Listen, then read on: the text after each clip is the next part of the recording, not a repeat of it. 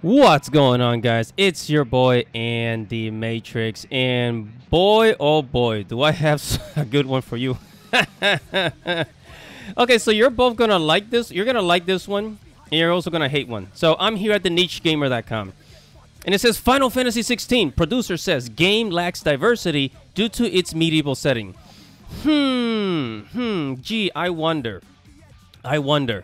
You know, people always like to make up things about history you know, and you know, back in the medieval times, you know, the the the 1300s, the the 1400s, the 1500s, there was no diversity, my friend, and it just so happens that Final Fantasy 16 and epic fantasy, which is usually set up around, I mean, commonly epic fantasy stories are set up around European medieval worlds like Game of Thrones, right? And I'm not saying I'm not saying that you know, like there there's that there cannot be any diversity but the problem is, the problem is modern day, when people use the word diversity, really what they mean is no white people. I'm sorry. I'm sorry, but that's basically where we are now. Like, basically, what, what they're saying is that Final Fantasy 16 is too white. There's too many white people and there's not enough brown people, right? And the creators, right, the producer says something really interesting that I think you guys are to like. Now, guys, before we get started, make sure to subscribe to the channel. Make sure you hit the notification bell for future notifications. All right? I talk about anime, manga, video games, geek culture, Japanese culture. I talk a lot about Final Fantasy and Square Enix. So if you're into any of that stuff, make sure to subscribe. Now, on with the show. Okay, so let's go over here. And it says uh, Final Fantasy 15 producer Naoki Yoshida was recently asked asked about the upcoming game's diversity where he was asked if there would be a be black or people of color in the game. oh man.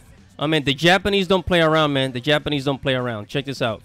It says Yoshida noted this wouldn't be the case despite the teams thinking about the possibility. Ultimately, the Final Fantasy 16 team decided against diversity because of underlining geographical, tech, tech, uh, technological, and, and geopolitical constraints of these settings, right? And it makes sense. It is part of the story that everybody in this in this world is, you know, of your basically they, they look European, right? They look European. Also, also what people do not understand or what people do not want to admit is that Europe itself is diverse. So I know some people don't like to hear that. I know some people don't want to admit that. Yes, Europe Europe is actually very diverse and when I, and diversity is not just skin color, by the way. So here it says, as most people are likely aware at this point, Final Fantasy 16 is based around medieval Europe. Hello, which according to Yoshida would realistically never be diverse compared to that of modern day Earth or even their own their own other games, Final Fantasy 14. That is correct. That is correct. Back then, back then, people used to be isolated you know, people used to travel, you know, across the ocean like Christopher Columbus traveled across the ocean, but it will take months. A wooden, a wooden, a wooden boat, a wooden ship, it will take like what two months to get from, let's say, England back in the day on a boat to the Americas. It will take like it's, it's a long time, bro. It's, so this is very realistic. They're being very, very realistic. Back then, in the 1500s, the 1400s, there wasn't a lot of diversity, but it was very, very little and it was only because there were certain people that were you know that had the tools to travel outside of their country into other continents right? And then it says so the isolated nature of valisthea again keyword keyword isolated nature keyword right there of valisthea this is the name of the land where, where they live. Said the name the name of the setting were, and world for the game as well as its basis in historical medieval europe kept them from wanting to do this Exactly. Exactly. He noted he understands this might disappoint some fans, but states that, that the diversity goes beyond appearance, noting that the characters are diverse in their nature, backgrounds, beliefs, personalities, and motives. What did I just say? What did I just say? You see? You see? And, and by the way, I, I didn't I didn't even read the article before making the video.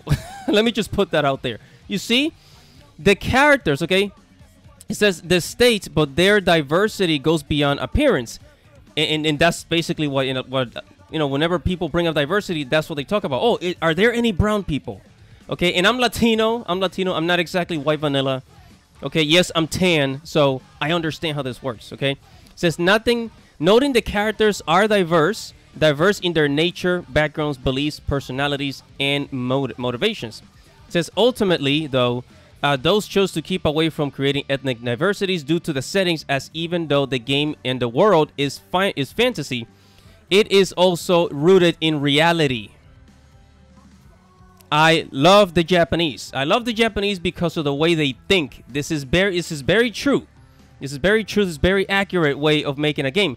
You have to be very realistic about the way you're making a game.